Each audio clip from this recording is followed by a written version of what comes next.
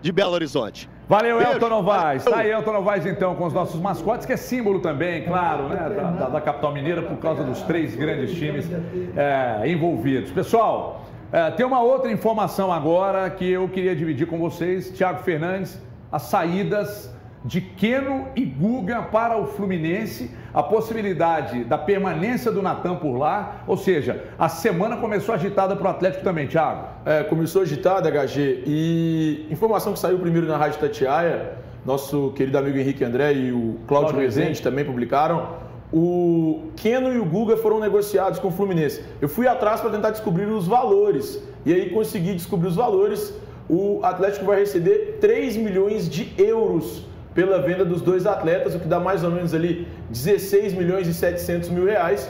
Os dois jogadores, então, negociados em definitivo. Estou tentando avançar para tentar entender qual percentual que o Atlético vai vender de cada atleta, se manterá, se terá ainda algum percentual de um deles, mas ainda não consegui essa informação. Então, 3 milhões de euros pelos dois atletas e o Natan permanece por empréstimo no Fluminense, com o Fluminense bancando os salários desse jogador. Muito bem, quero daqui a pouco tratar disso, dessas saídas aí com o Procópio, mas agora